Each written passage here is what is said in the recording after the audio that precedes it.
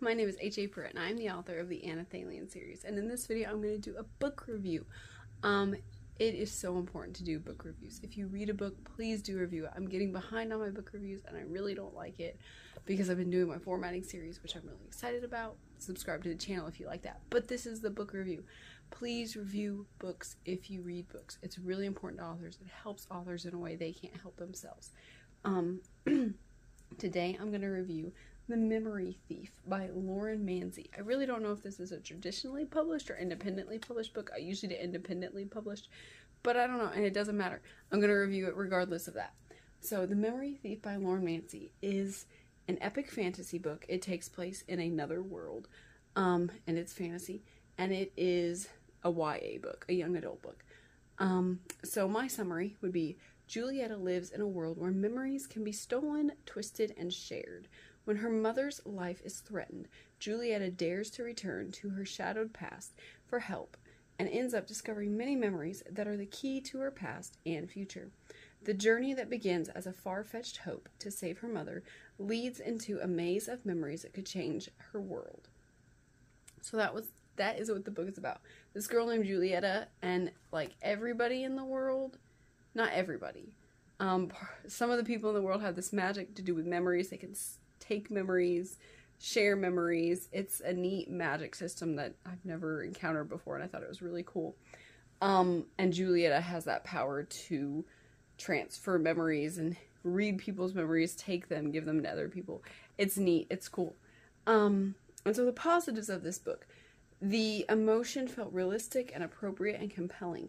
They were intense. The emotions were intense without ever feeling over dramatic. The characters' emotions could be felt and kept me reading. Um, another positive is the characters were, were realistic and likable. They all had flaws, but they developed. Um, yeah, I liked I liked the characters and how the author wrote their emotions. They like the emotions were intense and you wanted to keep reading because you felt for these characters. You felt what they were feeling. I can't really say a lot about the plot besides what I said in my summary.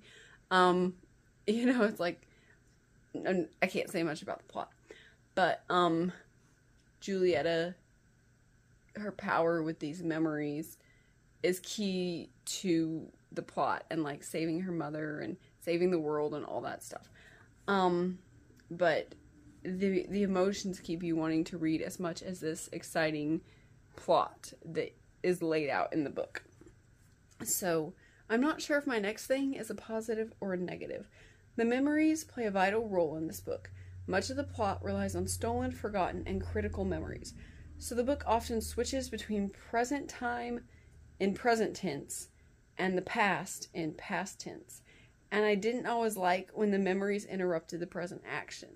Um, they did tend, tend to interrupt, even though they were relevant eventually. They were important, the memories were important, and did build up what came later, but I just wish they didn't make the present action seem disjointed. Um, like like I said, it switches back and forth, and it, it just like interrupts each other, and you're like, wait, what's going on? And it's not like it doesn't have like a header that says two years ago or whatever. Um, it just starts in a different place, and you're like, wait, what's going on? And it feels wrong at first because you switch tense. Um, and it's like, wait, this isn't what this book was, and it feels a little weird, and it just like kind of makes the book feel like stilted rather than smooth in its flow. Um, but it was kind of kind of necessary to have the memories where they were. But I felt like maybe they could have been included a little bit later, more kind of together, more revealed, or maybe the characters could have like talked and revealed them.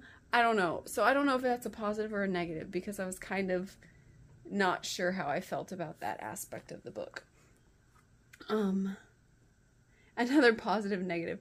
The magic system and world was cool, but I wish the story had explained more. The like I said, the magic system was cool, but I'm not hundred percent like clear about all the magic system. It didn't. This book is just a standalone book, and it wasn't like fully explained. I didn't fully get it as I went along. I found out more, but it's still like you're still kind of trying to figure out what's going on.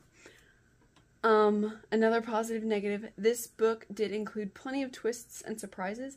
However, they felt too convenient. Um, they did surprise me, but they also felt like easy fixes to problems or created situations to make problems. They felt written rather than real.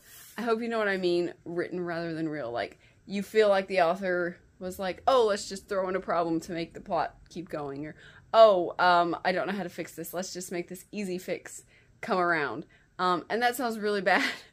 I really don't want to say that, but um, it did kind of feel like that. It felt like it just was put in there to further the plot or make the story go the direction the author wanted it to go, rather than naturally occurring events in this world. Um, and okay, so a net. I had one. Fully, surely, this is a negative. Um, some problems were resolved way too easily. That kind of goes with the other one, but um, the problems instead of the twists and surprises, the problems were resolved too easily. Several times a problem had a huge build up, but when the characters reached it, they didn't actually offer any. It didn't actually offer any problem.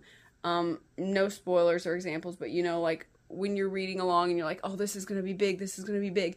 And then they got to the place or the event and you're like, oh, that was, that was really easily fixed. Um, okay, why did we have this huge build up to this thing that was so big and bad? And then it was just like, oh no, it's actually not a problem.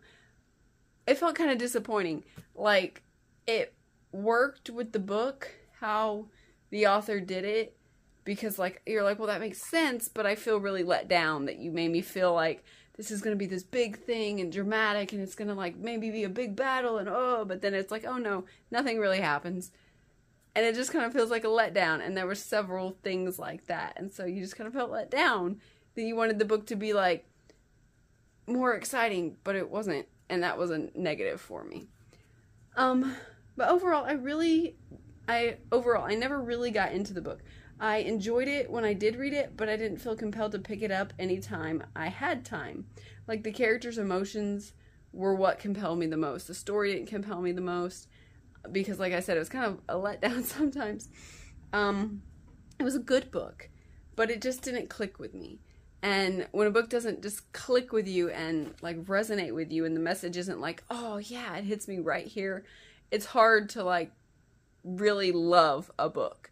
Um, and that's what it was for me. I can see other people really clicking with this book. Um, there was like a mother daughter relationship in there that was really significant and really special. And I just didn't click with that. Um, and so maybe if you have a special mother daughter relationship, that'll, the book will click with you. Or if I, like her mother is sick and she wants to save her. Maybe if you have something like a sick mother or a sick family member and you feel like you want to save them, you'll click with this book better. But I just don't have that in my life at this time. And so I just didn't feel that like connection with the book. And so I just didn't get into it. Um so if if you like fantasy with themes of family and memories, do try this book out like I said, it has potential to be like a book somebody really, really loves. It was recommended to me. Someone said this book is so good. I love it so much. Um, but it's just like different books are for different people. So I think maybe you would really love this book, but I don't know. It wasn't for me. It wasn't my favorite book. I'm still gonna rate it pretty high because like it was a pretty good book. Um, I did, I didn't like super get into it, but like I said, I did enjoy it when I read it. Um, yeah, so that's my book review of The Memory Thief by Lauren Mansy. Um, and I forgot, it's been so long since I've done a book review, I forget my little things that I say. Um, I also review my books on Goodreads and Amazon, so you can read my review there if you want to. Please like this video. Please subscribe to my channel. Please um, read books and review books. Please do all the things you do with YouTube videos. Share them around. Subscribe. Um, and thank you for watching. Bye. If you want to know more about Anelthalien or H.A. Pruitt, please follow me on Instagram at H.A. Pruitt. You can find me on Amazon as an Amazon author, H.A. Pruitt. Please watch my YouTube channel and all my cool videos on my channel, H.A. Pruitt Anelthalien. You can find me on the Facebook page, H.A. Pruitt Anelthalien. You can follow me on Goodreads by the name H.A. Pruitt and the book Anelthalien, or you can go to my website where so much cool stuff about Anelthalien is. The website is hapruitt.com. Oh my, I can't see. Okay. what am I doing? I don't I don't remember how to do a book review. It's been so long. okay,